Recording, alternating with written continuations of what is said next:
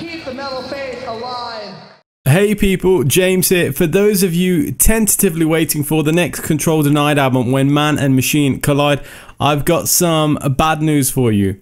Don't take my word for it. Let's listen to Steve DiGiorgio, who of course was the bass player in the project. I would like to thank Tibor of the Impact Metal channel for giving me permission to use part of his interview with Steve Giorgio, you can head over to their Facebook page and give them a like. And also, if you want to check out the full 20 minute interview, you can head over to their YouTube channel. There are some rumors out there about the releasing of the Control Denied album, the second Control Denied album. Do you have any news on that?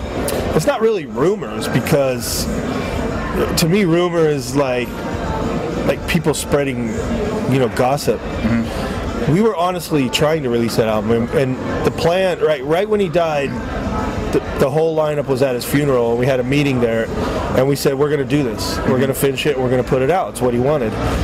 But man, we ran into so many problems. It was never just one problem. It was just a combination. of there was, you know, the the legal issues with the company, the the the digital machine that he used was uh, kept from the band for a while, and then when it was finally, you know, given to the band, it was corrupted. So then we had to extract the information through some digital code and convert it.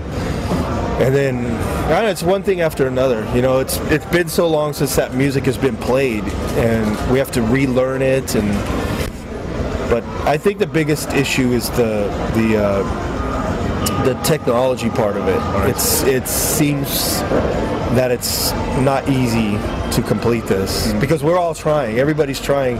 Richard did a great job getting some of the digital material extracted.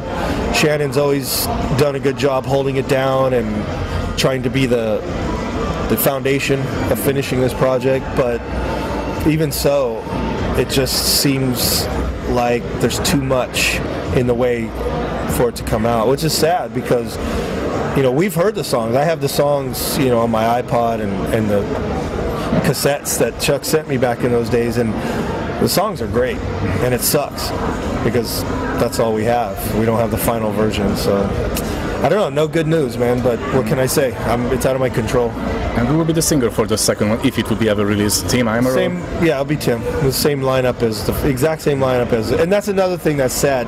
Chuck has never had back-to-back lineups, and this was the first time it was going to be done. And it's like a curse or something, you know, because we we still have the same lineup for the second, you know, first control denied, the second control denied, but now we run into a different force of nature. So. I don't know.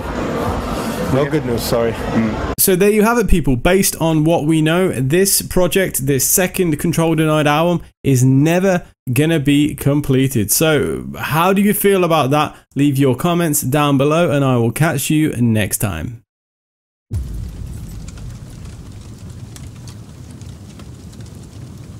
Keep the metal faith alive.